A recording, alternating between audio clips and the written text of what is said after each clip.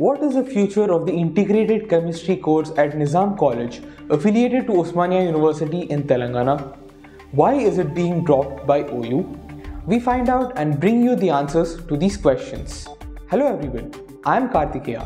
You are watching Straight Up by Edex Live, where we focus on important issues from the education field. Students of Nizam College have been protesting against OU's decision to scrap the 5 year integrated course in chemistry for more than 30 days.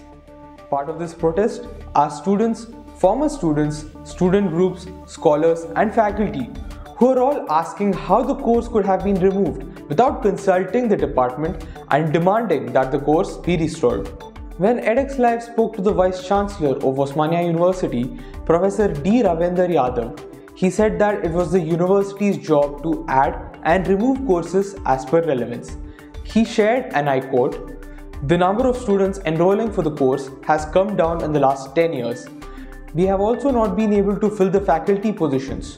Moreover, despite being an integrated course, students are dropping off in their third year. In total, we had incurred a loss of rupees 25 lakh because of this course. Unquote. However, the Bahujan Students Federation of India, which is leading the protests, says that this is not the case and that the course is being well received and opens up lucrative employment prospects for the students. Karunakar, founder and national coordinator of the BSFI, has this to say. అదేవిధంగా లెక్చరర్లతో కానీ ఎలాంటి చర్చలు చేయకుండా కేవలం principal గారు ఒక నిర్ణయం తీసుకొని ఇంటిగ్రేటెడ్ కెమిస్ట్రీ కోర్స్ని రద్దు చేయడం అనేది బీసీ సహకారంతో ఇది జరగడం అనేది చాలా బాధాకరమైన విషయం. నిజాం కాలేజ్ విద్యార్థులు గత ముప్పై ఐదు రోజులుగా ఈ రద్దుకు వ్యతిరేకంగా ఇంటిగ్రేటెడ్ కెమిస్ట్రీ రద్దుకు వ్యతిరేకంగా ఫైట్ పో- పోరాటం చేస్తూ ఉన్నారు. ఆ పోరాటానికి Bahujan student federation of India మద్దతు తెలి మద్దతుగా ఉన్నది ఆ మద్దతు కొనసాగుతూనే ఉన్నది.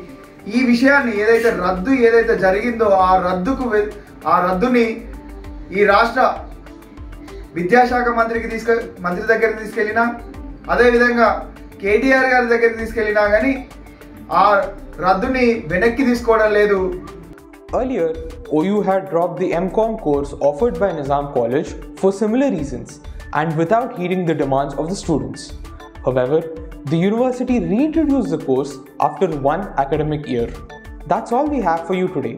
We will be back with more news from the world of education tomorrow. Please like and share this video and subscribe to our YouTube channel. Don't forget to follow us on social media. Mask up and stay safe.